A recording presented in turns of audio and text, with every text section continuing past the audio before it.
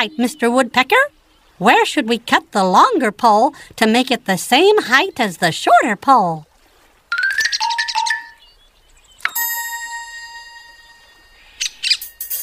Okay, fella.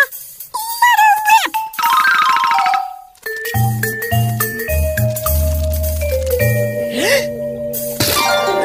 Thanks, Mr. Woodpecker.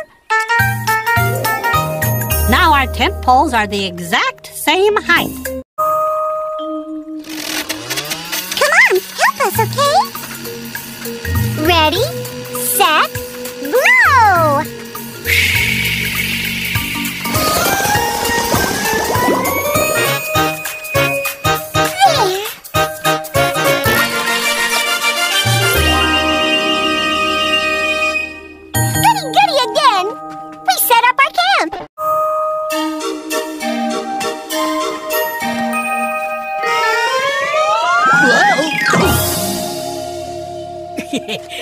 Just as I thought.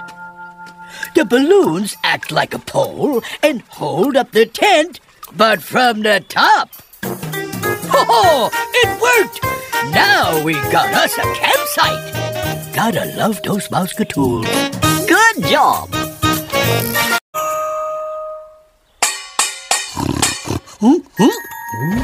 Oh, it's my little mouse friend.